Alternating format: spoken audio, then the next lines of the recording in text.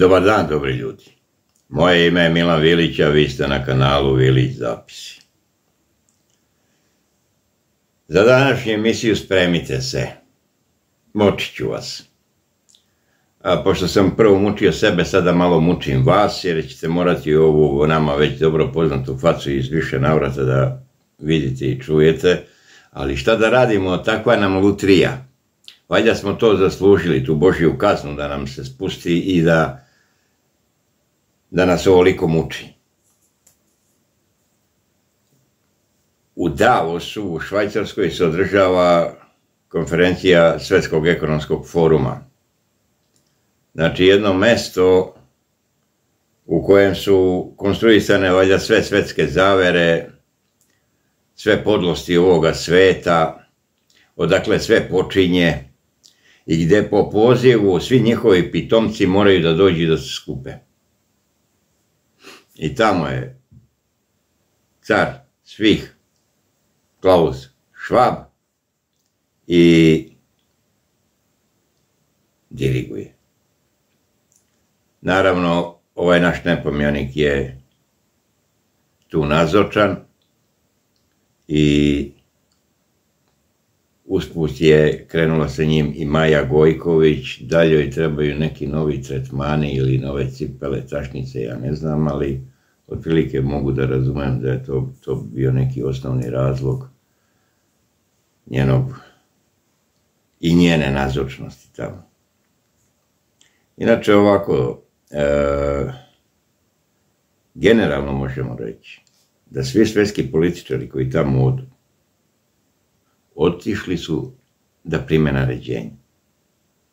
A niko nije tamo njih pozvao da, da bi čuo šta oni misle. Samo niko da se zavarao.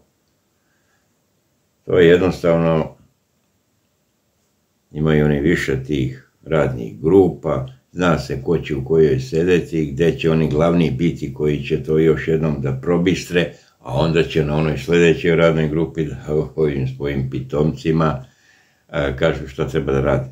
I to je sva mudrost tog Davosa. Ali,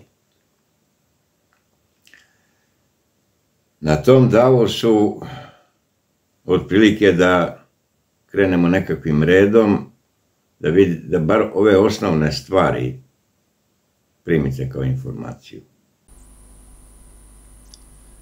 Šta o samitu u Davosu kaže politika?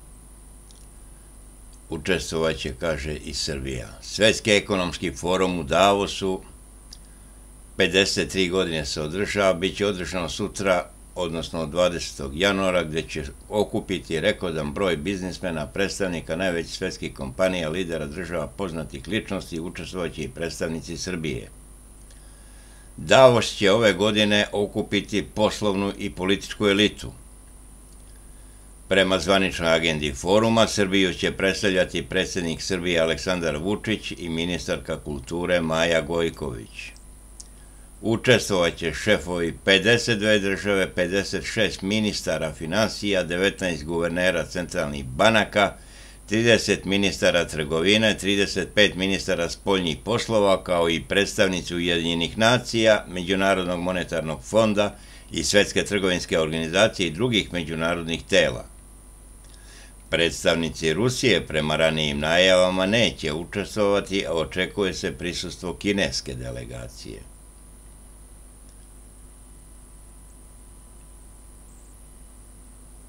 Davos bi trebalo da pomogne da dođe do pomeranja u načinu razmišljanja nakon pandemije, rekao je Klaus Schwab, koji je pokrenuo Svetski ekonomski forum još davne 1971. godine. I sad tamo u tom Davosu je ovaj naš nepomjanik dao jedan, jedan intervju, desetak minuta, kao i svaki njegov intervju, to je zaista mučno ovoga, gledati i slušati, ali ne, ponešto može nekad i od njega da se, da se protumači šta on to tamo radi i šta se otprilike dešava.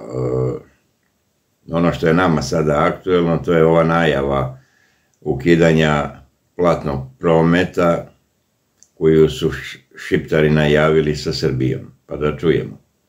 ali najava koju dobijamo iz Prištine da su spremni da razmatraju ukidanje platnog prometa sa centralnom Srbijom, odnosno da zabrane upotrebu dinara, da upadaju u poštansku štedionicu u naše pošte u Južnoj Srpskoj pokrajini ne samo da nas zabrinjava, već dovodi u pitanje sve procese i normalizacije, i dijaloga i svega drugog. I zato će to biti ključna tema večeras u razgovoru sa gospodinom O'Brienom, kao i to ko, zašto i kako se naoružava, šta je to što je učinjeno u skladu sa međunarodnim pravom, šta je to što nije. Naravno, on je čovek mirotvorac i ne, ne očekujte da će on paliti neke tenkove, da će on nešto da radi. Ne, Šiptori će ukinuti platni promet sa nama, uzeti na sve tamo što imamo od para, a mi ćemo da ih pustimo i dalje, da se voze sa svojim kolima po Srbiji. Nikakav problem. Mi smo široke ruke, ljudi trpeljivi, što bi se reklo. E sad, imamo sledeću, sledeću, sledeću temicu u okviru tog njegovog izlaganja koja se odnosi na neke glavne stvari koje su tamo rečene. Pa da čujemo.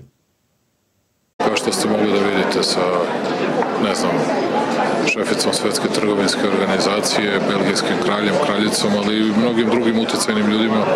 Pristupovao govori Jakea Sullivana, šefa uh, NSC-a u Sjedinjenim državama, kog je Biden nazvao najvažnijim ili jednim iz generacije intelektom i čovekom koji vodi bezbednostnu i rekao bih svaku drugu stratešku politiku Sjedinjenih država.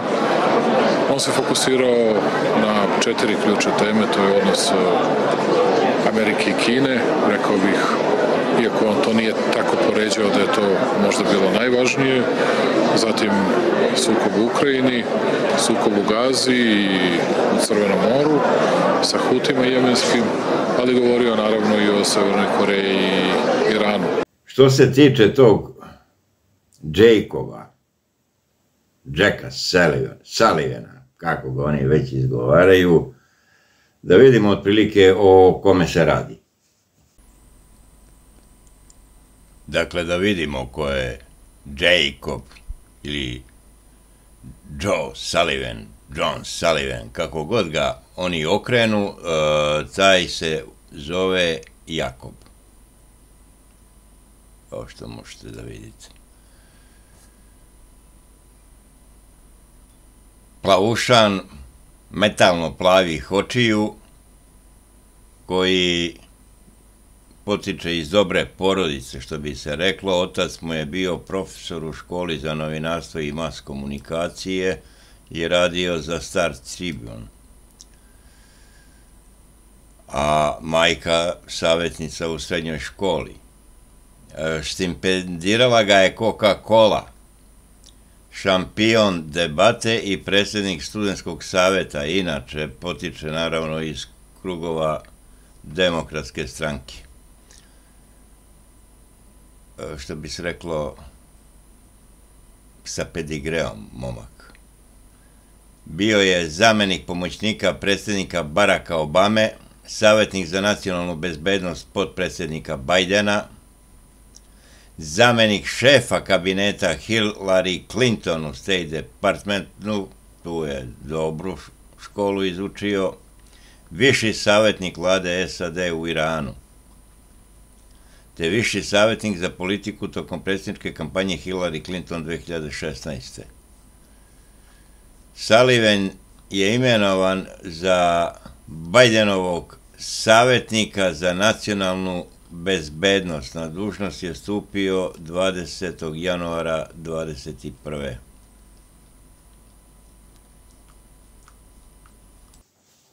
Znači, radi se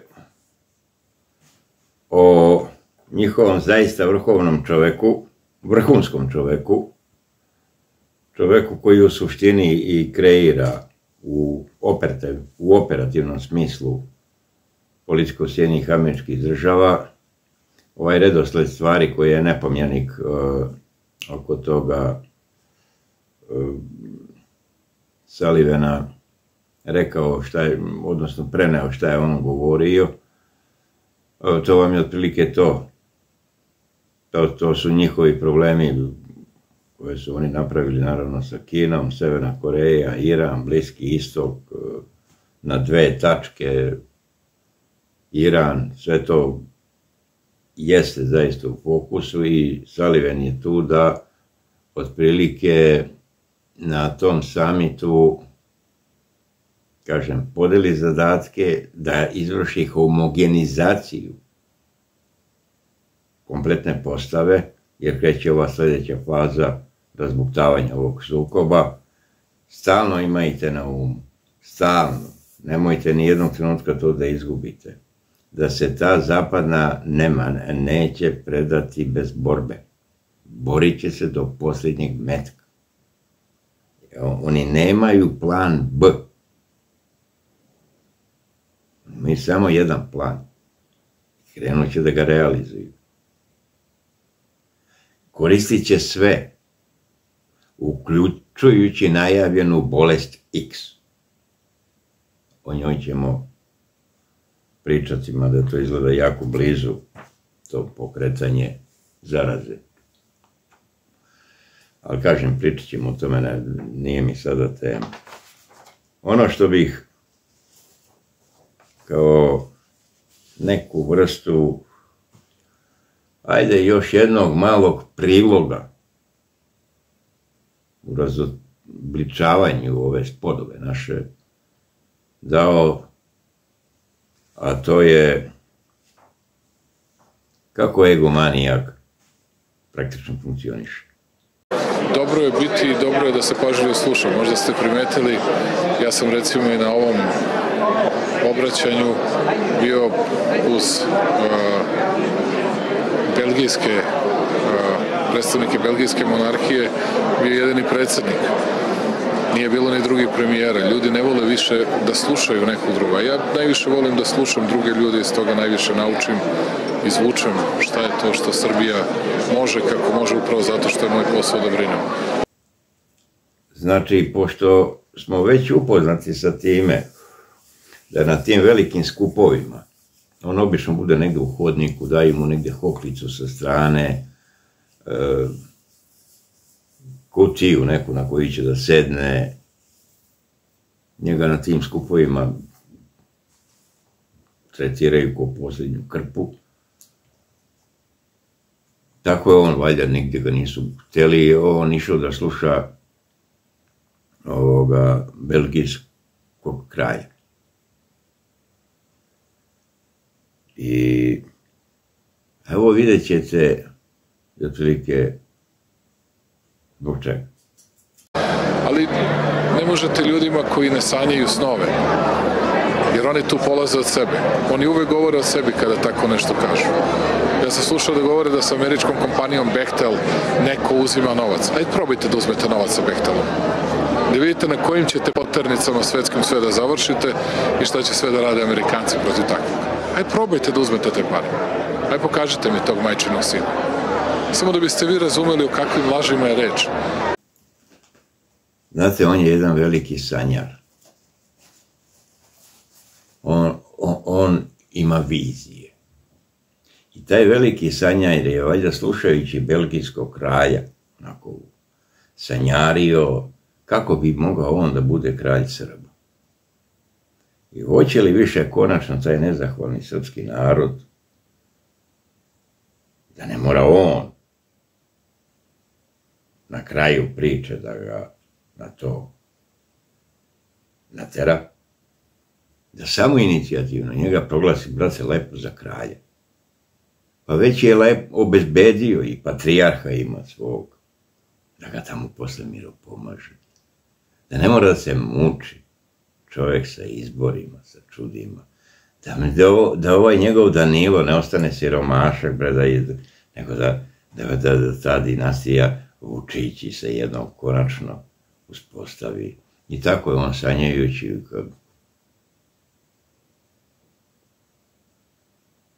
tako švrčka se, onda je tako sanjajući, zamislio da će da napravi u Davosu Sneška Belića. Pazite. On nema druga posla. On će da pravi Sneška Belića u Davosu. Jer to vi iz njegovi iz, iz PR-a rekli da tako nešto uradi, tako da ćemo gledati kako on pravi Sneška Belića. I tako bliže i tako dalje, a od njega što dalje, sve vas pozdravljam i volim za carstvo nebesko u slobodnoj Srbiji živeli.